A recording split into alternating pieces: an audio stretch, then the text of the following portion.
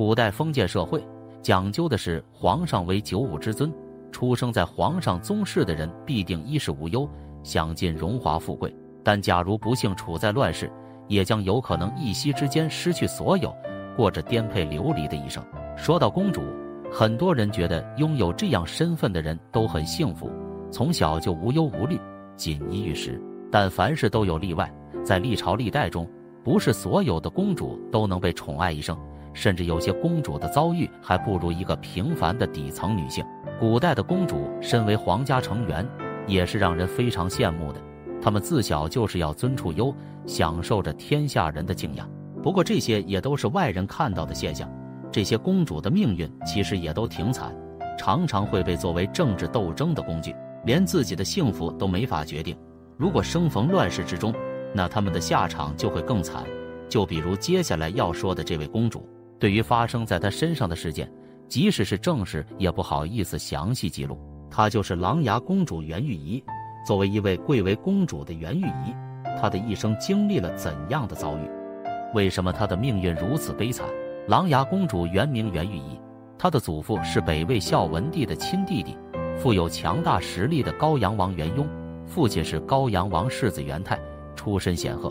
尽管他本应被称为郡主，但由于皇帝和王爷对他特别喜爱，因此他被允许自封为公主。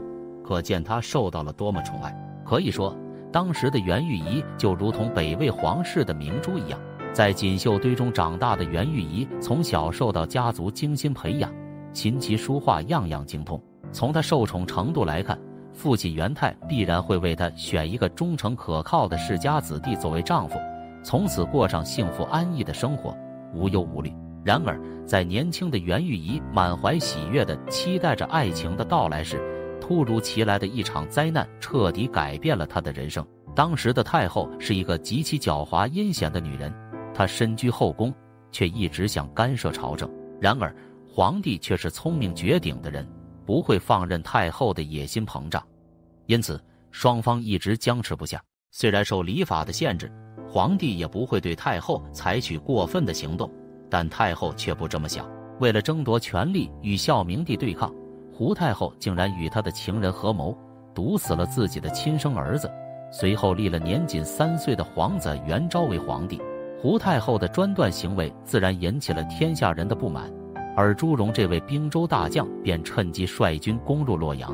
随后，尔朱荣将胡太后、年幼的皇帝元昭以及北魏的数千文武大臣围困在黄河沿岸，以祭天的名义发动大规模的屠杀。这一事件被称为河阴之变。在这次大屠杀中，高阳王元雍和世子元泰都不幸遇难。而尔朱荣在展开残酷的杀戮后，下令手下的士兵洗劫诸王的府邸。其中富有强大实力的高阳王府成为首要目标。当黄河大屠杀的噩耗传来时，尔朱荣的军队已经闯入了高阳王府。在兄长和姐姐的保护下，袁玉仪逃了出来。但在流亡的乱兵和流民的冲击下，不幸与家人失散。袁玉仪从小生活在优渥环境中，面对这个残酷的世界，她没有任何生存的技能。在街头流浪了几天后，由于她的美貌。被将军孙腾带进了府邸，从那时起，原本身份尊贵的皇族公主沦为了卑贱身份的家妓。孙腾极尽所能地将公主留在自己家中，让她日夜不停地为客人表演，夜晚还要侍奉孙腾。对于曾经高高在上的袁玉仪来说，这是莫大的耻辱。然而，出乎意料的是，孙腾是一个喜新厌旧的人。当对袁玉仪的新鲜感过去后，便将她赶出了将军府。可怜的袁玉仪再次流落街头，一个容貌绝美但缺乏自我保护能力的弱女子，在战乱纷争的世道中苦苦挣扎求生，这其中的困难可想而知。在流浪了一段时间后，袁玉仪用自己偷藏的首饰换来一把琴，靠在街头表演艺术为生。然而，许多从事相同行业的人对她起了非分之想，常常在她休息时强行侵犯她。久而久之，周围的人都知道了他的存在，他的生活变得一天比一天更加黑暗。幸运的是，经历了那段充满黑暗和困苦的岁月后，袁玉仪终于遇到了他生命中的恩人东魏权臣高澄。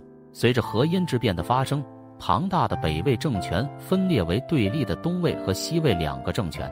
坐在龙椅上的孝敬帝元善只是个被操纵的傀儡，东魏的政务都由权臣高欢掌控。高欢去世后，他的长子高澄接替了权臣的位置，成为东魏的新掌权人。正是在那一年，高澄在前往朝见孝敬帝的路上，遇到了流离失所的袁玉仪。高成初次见到袁玉仪时，被她的美貌所吸引。作为一个爱美之人，他立即将袁玉仪带到自己身边，成为他的妾室。曾经备受宠爱的琅琊公主，也为一些变故变成了乞丐。许多大臣将她当作玩物，她的生活状况令人痛心。袁玉仪跟随着高成后，她的生活回到了从前，享受着奢华的仪式。高成经常向朋友炫耀他得到了一个美女，而当他们好奇的时候，高成毫不犹豫地叫出袁玉仪跳舞演奏。显然，高成对她虽然宠爱有加，但只是将她视为一件战利品而已。后来。高成发现袁玉仪还有一个美丽的姐妹，于是他派人寻找她的姐妹袁静怡，将她纳入府中。尽管此时袁静怡已经结婚并有了孩子，对于强势的高成来说，并不是什么大事。在给予袁静怡的丈夫崔阔和儿子丰厚的补偿后，高澄心安理得地享受着，而袁玉仪则不得不与姐妹共侍一夫。得知袁玉仪悲惨的身世后，高澄特地向孝敬帝请旨。恢复了袁玉仪公主的封号。然而，这段美好的生活并没有延续太久。琅琊公主再次遭遇了不幸。为了与姐妹保持在一起，高澄在夺嫡行动中带着他们参与，计划在战争结束后直接在新的府邸中继续享受快乐。然而，在战胜之后，高成正准备登基的庆典时，却遭到一个下人轻而易举的杀害。高成的死使袁玉仪和姐妹再次失去了保护。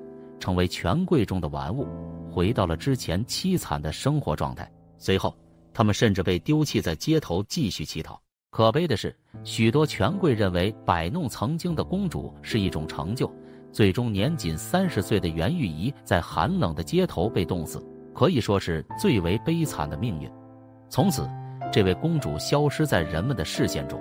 她一生下来就是公主，享受着锦衣玉食、无忧无虑的生活。然而，在国家覆灭之际，作为一个无力反抗的弱女子，加之她的美貌成为了她最大的罪过，失去了皇室的尊贵、家人的庇护，袁玉仪漂泊流离在乱世中，她的结局真是一出悲剧，令人深感惋惜。然而，回想起来，一个毫无力量的弱女子置身于乱世的颠沛流离之中，她的美貌成为她最大的罪孽，失去了皇室的尊贵，失去了家人的庇护。漂泊的袁玉仪注定会遭受何种命运，无需多言，只能说，作为一个出生于皇室、身处乱世之中的女子，这是她最大的悲哀。